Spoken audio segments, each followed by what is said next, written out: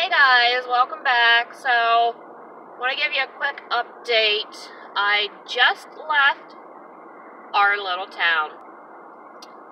It's a madhouse. So, went to the local Puff and Snuff. They're open tonight. And I had asked them if they were going to close. As of right now, they said no. Stopped at the Dollar General. Got the last pack of toilet paper. Sorry, Pam.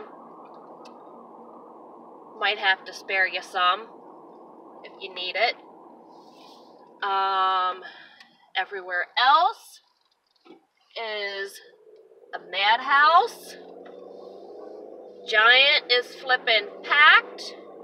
I stopped after work today to get some disinfectant wipes. Needless to say, there is nothing left on the shelves. It is bare. Uh, this is this is pathetic. I mean,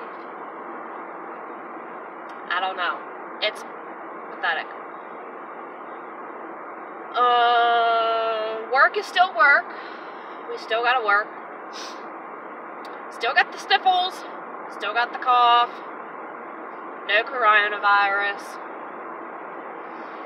Other than that, things are good for now. Uh, let's see. La la la la la la. I think that's it. Uh, sorry it's a little bumpy driving.